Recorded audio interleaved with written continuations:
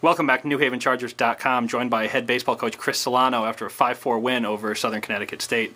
Coach uh, didn't do much against Rocco Kandari first time through the lineup, and then uh, second time through in the fourth inning, put four runs across. Talk about that inning.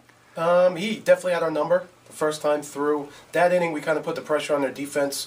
Two good bunts. Um, he ended up making a throwing error, um, kind of opened up the uh, floodgates. And if you look at it, we really only did it with one hit. So it was uh, it was good to see, but I would have liked us to swing the bat a little bit better. And uh, talk about the pitching performance in that game. Taylor Candage goes seven strong. Jason Lewicki puts up a zero. Then Peter J does what he's been doing all season long and puts up a zero. Yeah, I mean Taylor deserved a little bit better than the uh, than the score shows. He threw seven great innings. Um, the eighth inning, I think he might have run out of gas a little bit, but Jason came in and did a great job. And I mean, what can you say about Peter? He's done uh, what he's been doing the whole season.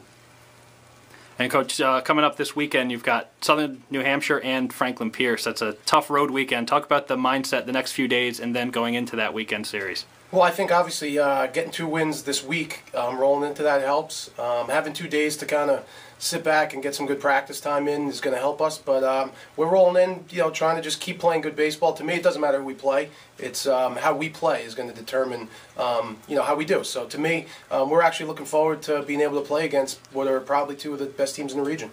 Uh, Coach, congratulations on the win. Thanks for joining us. Andrew, you had a big two-run single as a part of that four-run fourth inning. Uh, hadn't done much against their starting pitcher before that inning. What changed second time through the lineup? Uh, I thought we just got better pitches to hit. Um, he was he was throwing he was throwing pretty good, but we were just looking for good pitches to hit, and the infield was in when I got up. So I just tried to do something with a, with a pitch and got lucky and got a good hit. Um, so building up some momentum coming into this weekend, big conference weekend, uh, Southern New Hampshire and Franklin Pierce. Uh, what's the mindset over the next few days heading into the that series? Just to keep working hard and stay focused and have a good good few practices the next couple of days. Nick, your solo home run, the bottom of the sixth inning, proved to be the difference on the scoreboard today. Uh, talk a little bit about that at bat. Well, you know, um, I came up there. I haven't done much my uh, my other two at bats. I, I got a single earlier. So I knew he was probably just going to come right at me with a fastball. So I was looking for the fastball.